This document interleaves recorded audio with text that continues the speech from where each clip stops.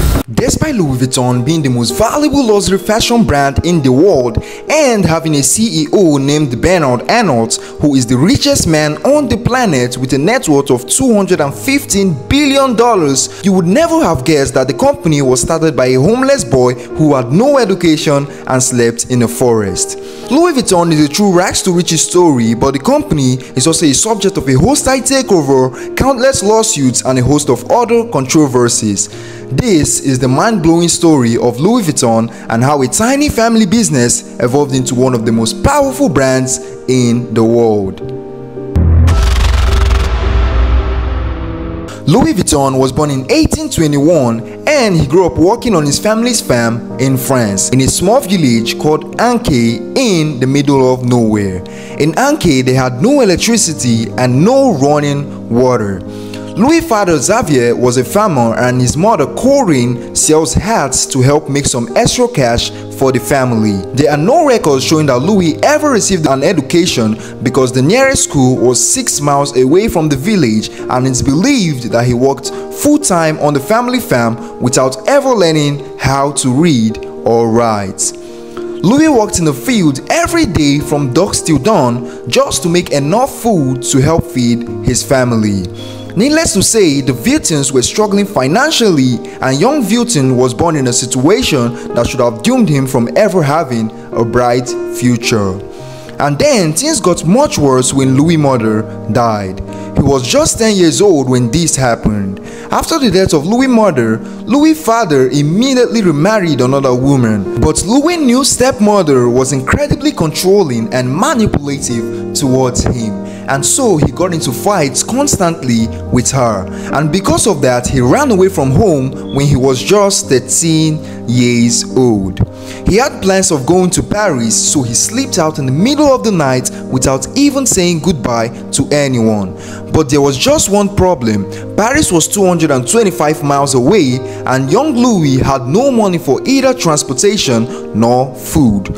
So he was forced to walk along dirty roads. Most nights he slept in the woods with an empty stomach and just a cloak to keep him warm. Every time he ran into a new village, he would do odd jobs in exchange for food or coins. However, there was never enough money left over for housing, so he continued sleeping in the woods or wherever he could find shelter for the night.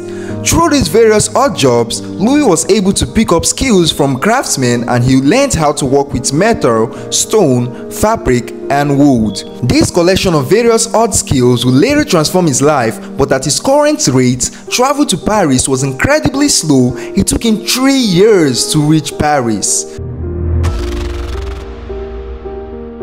Not long after he arrived Paris, Louis was able to find and work as an apprentice box maker and packer. And in case you're wondering, box makers are people who make custom sized boxes for clients as well as packing and unpacking them whenever the client was about to go on a trip. Now back to the story. This job made him meet new people from the upper class who were looking for custom made luggage for their travels. Louis worked there for years learning the craft and working as hard as he could. In fact, in 1851, the Empress of France ended up being a customer and she took notice of his fine craftsmanship. Then she appointed him as a personal box maker and packer. For most box makers, this would have been the highest honor to achieve, but Louis Vuitton had bigger vision for his life. After getting married when he was just 33 years old, Louis used the savings to start up his own business and then he opened his own box making workshop in Paris to begin selling his own products. Louis noticed a major flaw in the luggage he sells. All the boxes were made with leather and they had round dome shaped tops so that rain would roll off the top of the luggage. The major issue was that it was impossible to stack them. The packers had to carry the boxes one by one. Louis began experimenting with different materials to use instead of the round dome shaped leather. So he found out that canvas was lighter, durable and it was water resistant which meant the trunks could have flat tops instead of round tops. This made everything more efficient as it was now possible to stack them up in a pile multiple times at one time instead of one by one. Louis Nude suitcase design brought on the dawn of the modern day luggage. At this time, Louis had already built up his professional reputation as well as his connection in the upper class. So of course once he launched his new line of luggage, it was immediately a huge success. Within two years of creating his new suitcases, it were now considered elegant and a must-have accessory amongst the wealthy. The brand has become so popular that he was now receiving orders from royals around the world. He even began receiving orders from royals as far as Egypt. In 1859, Louis made enough profit to hire a team of craftsmen to help fulfill his orders. He opened a new workshop in Paris where he hired 20 employees. Around that time, more and more people were beginning to travel by train and boats, so the number of his potential customers increased rapidly. Traveling was no longer a hobby exclusive to the rich, but also people from low backgrounds were now in need of high quality luggage. It would seem as though Louis had made it and would go on to succeed for the rest of his life, but unfortunately, that was not the case.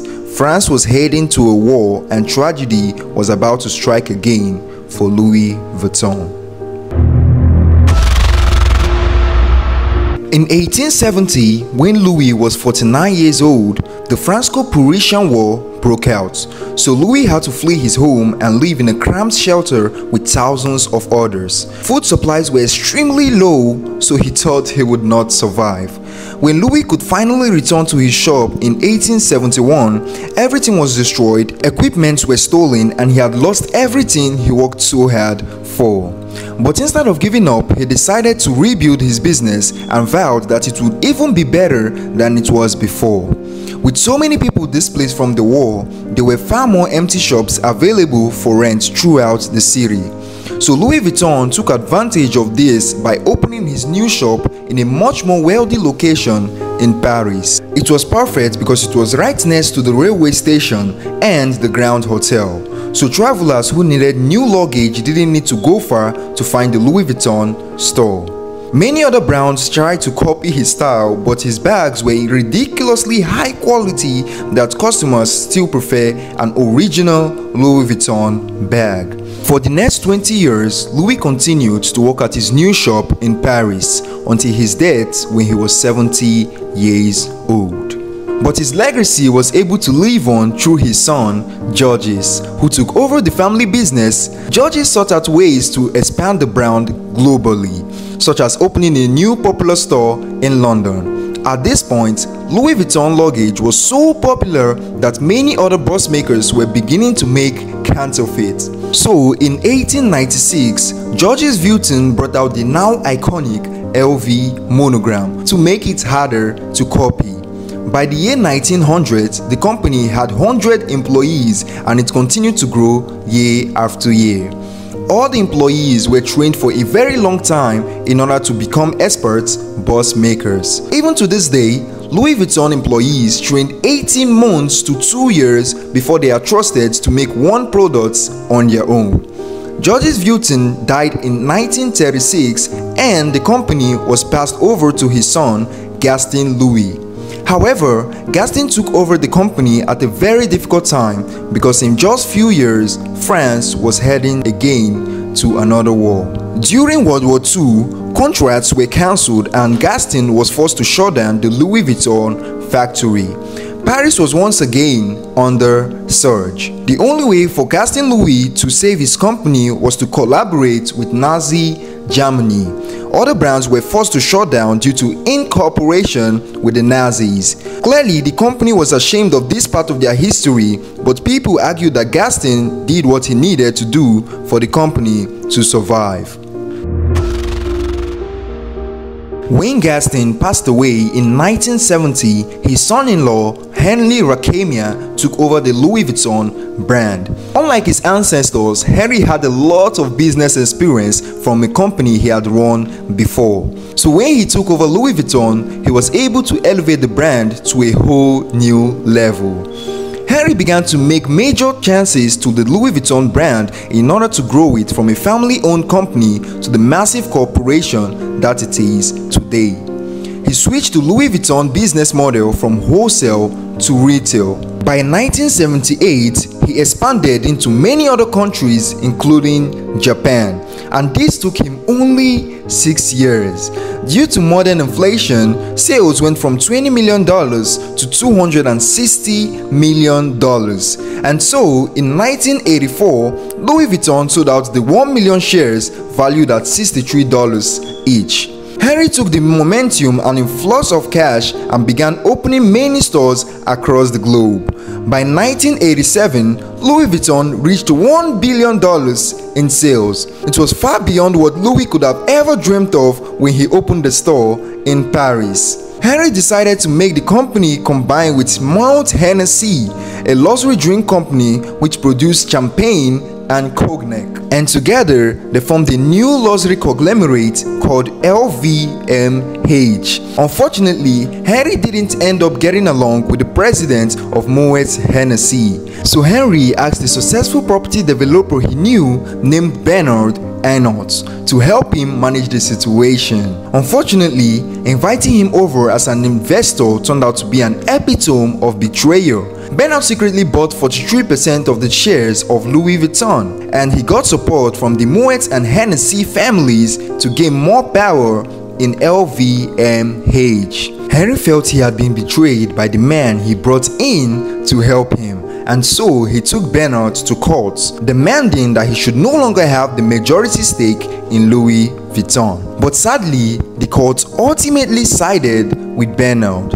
Henry was so angry about being backstabbed by his friend that he decided to quit working for Louis Vuitton. Now, for the first time in 100 years, no one from the Vuitton family was a part of the brand. And that completes the story of Louis Vuitton. Please subscribe because I have lots of amazing stories that you want to hear. I'm telling you, you want to hear the stories. And yeah, thank you for watching me. I have, yeah, bye. I love you. Bye. I love you. Bye.